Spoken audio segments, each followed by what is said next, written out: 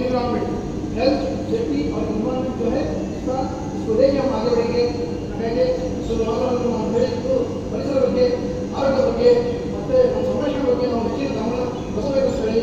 ಆ, ಒಂದೆರಡು ಮಾತುಗಳನ್ನು ಹೇಳಿ ನನ್ನ ಮಾತನ್ನು ಮುಗಿಸ್ತಾ ಇದ್ದೇನೆ ಜೈ ಹಿಂದ್ ಜೈ ಕರ್ನಾಟಕ